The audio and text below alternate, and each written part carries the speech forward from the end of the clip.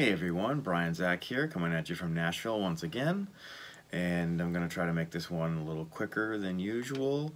Um, not a lot to explain here. This song is Love Shack. We've all heard this song a gajillion times, but this happens to be one of my favorite dance songs to play.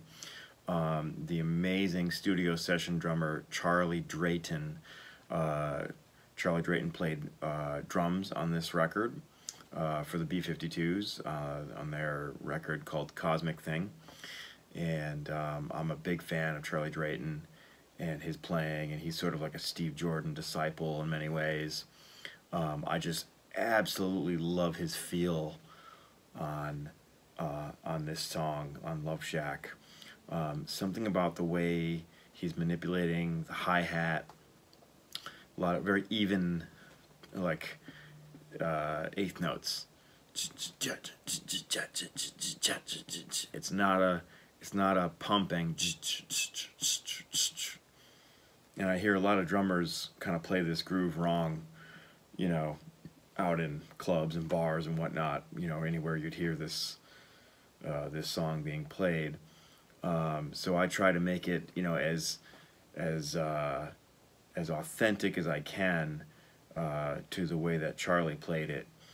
And um, so it's just a lot of fun. It's a good groove, you know, you know the vocals, um, the band you're you're gonna hear me playing this with. It's called Music City Rhythm Review.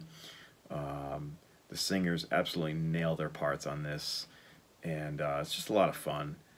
This is me doing my best Charlie Drayton impression. Enjoy!